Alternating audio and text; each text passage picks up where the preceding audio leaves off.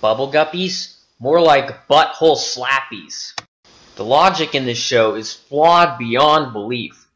This show is supposed to teach people about literature, math, science, the whole nine yards.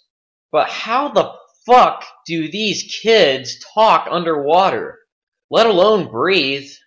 Molly is the leader of the Bubble Guppies, which explains why she's all princess-like, and why her motto is basically, Bow down to me! Gil used some of the Smurf skin color dye on his hair. Deema is a dumb bitcha. Goby is a goober. Nonny looks high as fuck.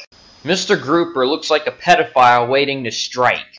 Bubble Puppy makes the least sense. Taking all the things I said about the kids being underwater, adding to that, dogs hate being even just in water. And Oona? No one really gives a shit about Oona, to be honest. Do you know who likes the Bubble Guppies? Ubi.